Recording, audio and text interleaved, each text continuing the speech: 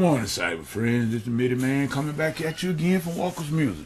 Yet another word for today. We give God this glory, we give Him the honor, and we do give Him the thanks for life, health, and strength for as well as it is.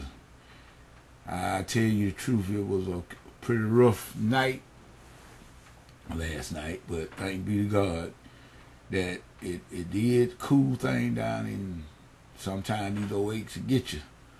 But, you know, thanks be to God. We got a Heavenly Father who cares. And we can go to him and uh, just, if we just trust him. I um, I was uh, trying to get some things sort of situated, but looked like to me I, I, I, ran into some obstacles, and uh, so I take it all in stride, and then going to worry about that. We're going to give a big shout out to the YouTube family from Baby Justice all the way up to Big Papa JT. And I want to say that I'm I'm praying that our Brother Justice is be fine, doing well, and God has smiled on him as well as our brother David Maxwell. We asking you to continue to continue to pray. I I went back and I I went back last night and I um, I looked at some more uh, Papa JT videos. I tell you, I, I I I get I get a real inspiration. I get inspired when I uh, when I uh, read or listen to anything that Papa JT, when he's when he says, in other words, he try to tell us the word of God. And uh, not many people gonna tell you the truth like that, and I like that. And uh, whether I'm doing it or whether I'm guilty or not, is you know, the truth is just as truth as admitted man is guilty. You know what I'm saying? That's the way I feel about it. And I just have to get right where I'm wrong. And I ask God to help me do that. But anyway, I was thinking about something. I, like I said last night, I just really couldn't get myself into doing too much and everything. You know, these old aches were getting me. But uh, I did. Uh, I was. I happened to as going. I'll be always try to check out. Uh, uh, sometime I, I try to check out the uh, Jack Van Impe. Uh, I like to see him and his wife Rexella. They come on with the uh, they little segment about they do they do like the the news for the day God knew like for the day. It's sort of like that program. And uh, I can't think of it uh, I can't think of the the the, uh, the actual name of the program right about now. It just leaves me. But anyway uh, I didn't see it last night. It didn't for some reason it normally comes on 1 a.m. on a Monday but it didn't come on last night. I don't know whether they done changed the programming or it done been taken off the programming or I don't know just just yet, but I'm gonna try to find out. But he called Jack Van Impe Presents. That's what I think what they call. But at any rate, I did see Perry Stone, and uh, Perry Stone had a powerful teaching. He talking about the shofar. Those are ram's horn, as we know, and those are the trumpets in, in the Jewish in the Jewish uh, tradition. Very interesting thing about the breath of God and how when God will come down to the temple the tabernacle they had out there in the wilderness, how the, the curtain would blow out. You, they could hear like a man breathing, and they could see the, the breath and the wind and how it would do the curtains and everything. They knew God was there. Very awesome, awesome teaching. I tell you, I would, I wished I could find that again, the whole thing. But at any rate, I was thinking, and then later on, about 1.30, uh, Creflo Dollar, he came on, he started talking about Elijah and by when he saw the, the cloud about the size of a man's hand. And I need to hurry up. I don't want to make this video too long, but this is some good stuff, people. We just take heed to it. And he said, he sent his servant out. Servant looked over the sea and he said, I don't see nothing. In other words, we know Elijah told Ahab that it wasn't going to rain till he said it. He told him it wasn't going to rain for the space of three and a half years and it didn't rain. Then he went back and he told him, he said, I'm okay, now it's going to rain. In other words, he was trying to get us to say what Jesus said, you have what you say, and don't if you don't doubt. Jesus said, you know, you could say to yonder's mountain, be thou removed and cast into the sea, and if you don't doubt and waver, it'll obey you. So that's where that teaching was coming from it. But when he said he sent his servant out there, and he said he went seven times, and on the seventh time, that's when he saw a cloud about the size of a man's hand. Now that wasn't very big, was it? But it said it came to pass, and he just kept on repeating it came to pass, it came to pass. In other words, what we, if we just wait, if we wait on the law, it'll come to pass. That's what he was saying. That what he was trying to get everybody and convey per, over to everybody. But anyway, I got up and I I didn't know why what the, I, my mind got on some things and all. The Holy Spirit took me. My mind was yet lingering on that, and I wondered why certain things be the certain like the way it is. You know, you you think you're doing the best you can, and really and truly, I believe sometimes some of us really be trying to do the best we can, but it still seems like things just don't quite work out. And then you wonder, well, well, something something got to be wrong. And so, believe it or not, God knows when I came back in, I went outside. I, I, I like I do my laundry. And I still love to hang my clothes out, get them sunshine and fresh air. Spirit of God came to me, and I thought about a scripture. I thought about the scripture about where you dig wells and there ain't nothing they dry. You you you try to get, but you can't keep. That's what came to my mind. So I know that it come from the book of Haggai.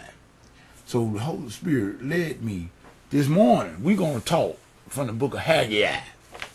And let us see why some things work for us and for some. And then we gonna and then we're gonna see why things sometimes don't work. Let us go to the book of Haggai. And this is the word of God now, people. This is not me the man. This is not me the man, but this is what the Spirit of the Lord gave, told me to talk about this morning. If you go to the book of Haggai, the very first chapter, and let's start let's start right there the, the very first chapter and the very the second verse. And this is what it said. This is way it reads. And we got about six minutes into this video already. We're going to try to keep it on the 15. Thus speaketh the Lord of hosts. Now listen now, y'all. Who's speaking? The Lord of hosts. Thus speaketh the Lord of hosts, saying, This people say, this people say. Now he talking really now about the Jews, but it can apply to you too, because we are spiritual Jews. This speak this people say the time is not come. The time that the Lord's house shall should be built. You see what he's saying? The time that the Lord's house should be built. He said these people said it ain't come yet. In other words, they tried to put it off. Then came the word of the Lord by Haggai, the prophet, saying, Is it time for you, O ye, to dwell in your sealed houses, and this house lie waste? In other words, the prophet, the Lord asked the prophet, said, Now, okay, it's time for you now to get in your sealed houses. Your houses are sealed. And you got all your stuff in your house. But yet still you want my house to lie here in waste. That's what God said. Okay, let's let's move on. Now, therefore, thus said the Lord of hosts, consider your ways. Uh-oh. Uh-oh. We finna find out now why some things ain't working. Consider your ways. You have so much. See that? Some of us, we really give and we sow. Yeah, some, some people do. And bring in little. You see that? He said you sow much, but you bring in little. In other words, you plant a lot, but you ain't bringing in but a little bit. You eat, but you don't have enough. You drink, but you are not filled with drink. In other words, you never quench your thirst. You clothe yourself, but there is none warm. And he that earneth wages, earneth wages to put into a bag with holes in it. See that? See that? This is the Lord speaking to people. Thus said the Lord of hosts, consider your ways. Consider your ways.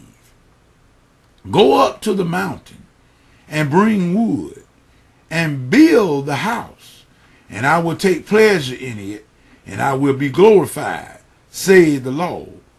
Ye looked for much, and lo, it came to little. And when you brought it home, I did blow upon it. Why? said the Lord of hosts, because of mine house that is waste, and you run every man into his own house. Therefore, the heaven over you is stayed from dew. In other words, the heaven over you is closed. And the earth is stayed from her fruit. In other words, the earth is not going to give you her fruit.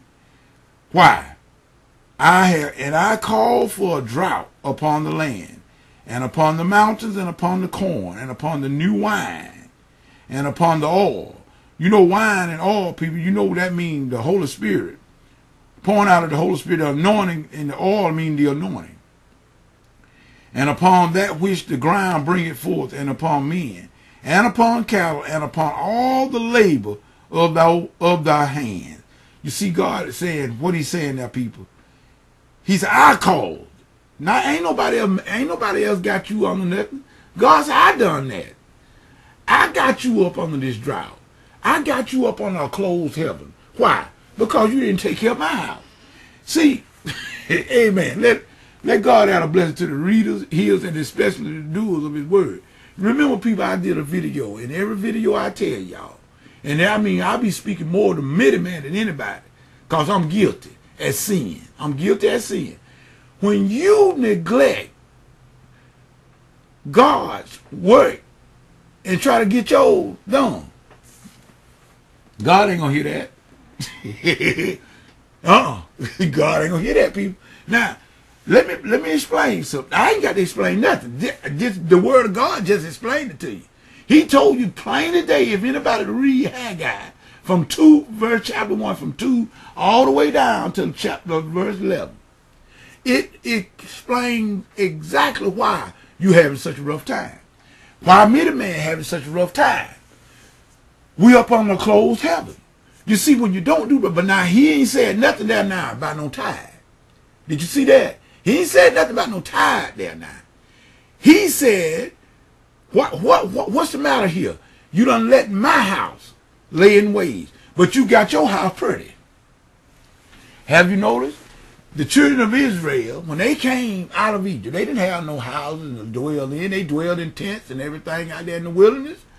Well, God's tabernacle was out there too. You know, God gave Moses the instruction of how he was supposed to construct that tabernacle. And he did it just according to the plan that God gave him. This video, I'm, it look like to me, I might have to do a part two, people. But at any rate, God gave him the instructions on how to make that tabernacle and how to construct it and the stuff that he was supposed to put in it. This was a very, very blueprint of the way they were supposed to build the temple when they actually built the temple with foundation. The tent of meeting, in other words, the tent of tabernacle that was in the wilderness, that the, the first temple that, that Solomon built was the exact replica. It was built according to the plan that Moses did in the wilderness. This is what God was trying to tell the children of Israel in the book of Haggai. Look, you you you you you, you got out of the tents. You got yourself out the tents and you built you a nice house. But you left my house out there in ruins. He said, that's how come I got heaven shut up over you. Consider your ways. And then he goes on to show you that you're so much, and some people do. They sold plenty, pretty good money and different stuff. They really do. But you leave my house. You eat and you ain't full. You drink and you ain't satisfied. You clothe yourself and you ain't warm. You earn wages and it never enough because it's like you putting money into a bag with holes in it. But so this is the Lord doing. This ain't the devil. You know, you hear people talking, you know, man, I don't know what the matter. I just can't keep the devil. The, oh, it ain't the devil, it's the law. That's what Haggai said, and then the Lord said it himself, right there. Man, I'm going to tell you, this is an eye-opener for Midiman people. I don't know. I'm going to have to do a part two because I don't want this video to go over 15 minutes. So I'm going to do a part two on this teaching. But consider your ways. He said, oh, Israel, consider your ways. But that means you and me too. It means you and me too because we are spiritual Israel. Right now, we are spiritual Israel, those that have washed their blood in the blood of the Lamb. With that being said, it's the Midiman, and that will be a part two on this teaching. Saying peace goodbye.